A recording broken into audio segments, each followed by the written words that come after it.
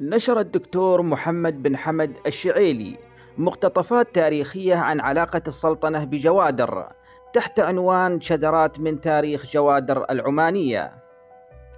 يعد إقليم جوادر آخر الممتلكات العمانية ما وراء البحار بعد انفصال زنجبار عن عمان وبعد فقدان ميناء بندر عباس على ساحل الخليج. أولاً الجغرافيا والأهمية أطلقت عليها عدة مسميات وهي جوادر غوادر جوادر جوادر والجوادر وكوادر وبندر جوادر وجيب جوادر وكواتر.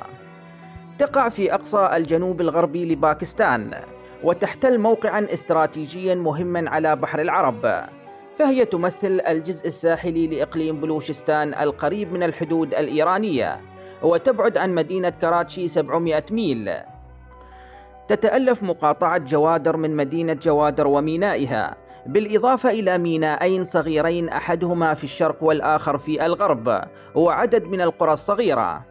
ثانيا تاريخ جوادر العماني.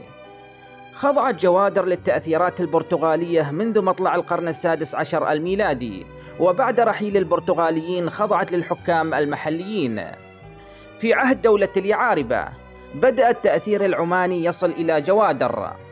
في عهد دولة البوسعيد أخذت جوادر تلعب دورا بارزا في الصراعات الداخلية العمانية مما مهد إلحاقها بالسيادة العمانية. اتخذ منها السيد سلطان بن أحمد ملجأ له بعد خلافه مع والده الإمام أحمد بن سعيد عام 1784 ووجد ترحيبا من قبل بعض زعماء البلوش وأهمهم ناصر خان حاكم كلات الذي منحه قطعة أرض على الشاطئ لكي تكون قاعدة له.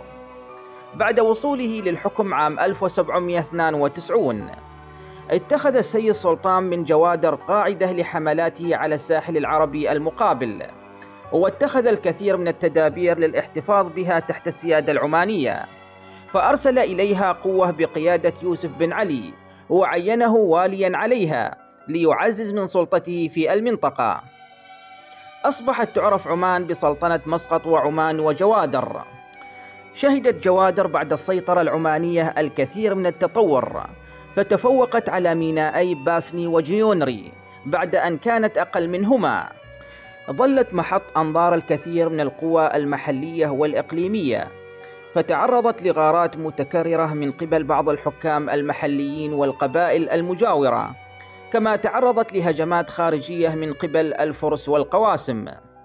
عندما شهدت عمان مظاهر الصراعات الداخلية بعد وفاة السيد ثويني بن سعيد عام 1866 أدى ذلك إلى ضياع الممتلكات العمانية في الخارج ولم يبقى إلا جوادر. اتخذتها المعارضة العمانية مركزا لإسقاط حكم الإمامة في عمان. ولطالما استعان حكام البوسعيد بقبائل المنطقة في صراعاتهم الداخلية. كانت الإدارة العمانية لجوادر عملية صعبة وشاقة بسبب بعد المنطقة عن السلطة المركزية في عمان وانتماء سكانها إلى أعراق متعددة غير عربية الأصل. كما كانت المقاطعة مثار أطماع عدد من المناطق المجاورة فضلا عن رغبة بعض الحكام المحليين في السيطرة عليها وضمها إلى أملاكهم. عانت جوادر من أطماع دول خارجية كبلاد فارس كما كانت تتأثر بالأوضاع الاقتصادية والسياسية في عمان وتقلباتها. أصبحت جوادر الملاذ الآمن للعديد من الشخصيات العمانية في عهد دولة البوسعيد كان والي جوادر تابعا لسلطان مسقط مباشرة ويمارس عمله في مقره الدائم في القلعة التي كانت تعرف بقلعة الوالي. في ظل السيادة العمانية على جوادر انتعشت الأوضاع الاقتصادية للمنطقة. ازدادت أهمية جوادر في الستينيات من القرن التاسع عشر بعد قيام بريطانيا باتخاذها ممرا لخطوط البرق الممتدة من شبه القارة الهندية ورأس الخليج العربي. وعقدت معاهدة مع السيد ثويني في إبريل عام 1868 تتيح لها مد خطوط البرق في عمان وتوابعها. بعد توقيع معاهدة البرق تخلت فارس عن مطالبتها بجوادر كما تخلت عن مطالبتها بتسمية الساحل الممتد من جوادر إلى الغرب منها بالساحل الفارسي.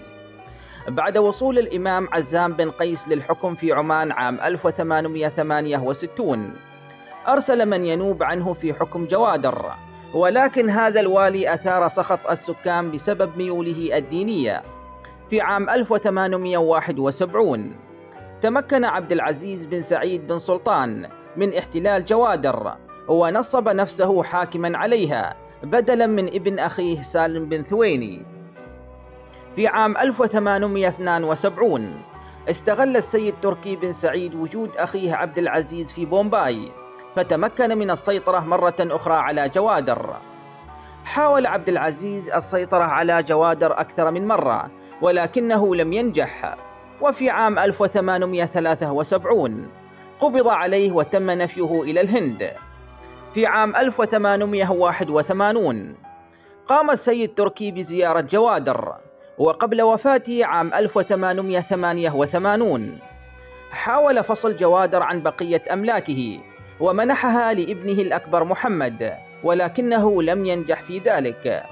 كان الوكيل البريطاني في جوادر تابعا للوكيل السياسي في مسقط والوكيل السياسي في كلات حتى عام 1873 عندما أصبح الوكيل السياسي في جوادر تابعا لمفتش السد في كلكتا ثم ألحق تبعيته عام 1877 للمقيم السياسي في الخليج العربي في بوشهر.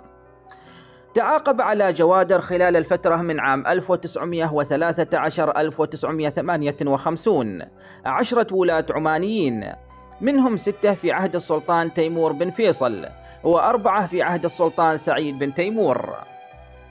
حرصت حكومة مسقط على تطوير إدارة الموانئ والجمارك في جوادر والاهتمام بالتعليم وإقامة الكثير من المشروعات الاقتصادية بالتعاون مع بريطانيا. ثالثا الانفصال. في عام 1895 وجدت مقترحات لنقل جوادر من سلطان عمان إلى حكومة الهند أو خان كلات. في عام 1903 طلب خان كلات معونة الحكومة البريطانية في استعادة جوادر. لم يتم الاستجابة له من قبل الحكومة البريطانية. وفي عام 1917 طرح الوكيل السياسي في مسقط فكرة بيع جوادر من قبل حكومة مسقط إلى حكومة كلات كحل لمعالجة الوضع المالي المتدهور للسلطان تيمور بن فيصل. بدأت قضية جوادر تظهر كمشكلة سياسية بعد استقلال باكستان عن الهند عام 1947 وتحركها لاستعادة الإقليم وأخذت تمارس الضغط على السلطان سعيد لاستعادة الإقليم. والذي كاد أن يتطور إلى حد الصدام العسكري.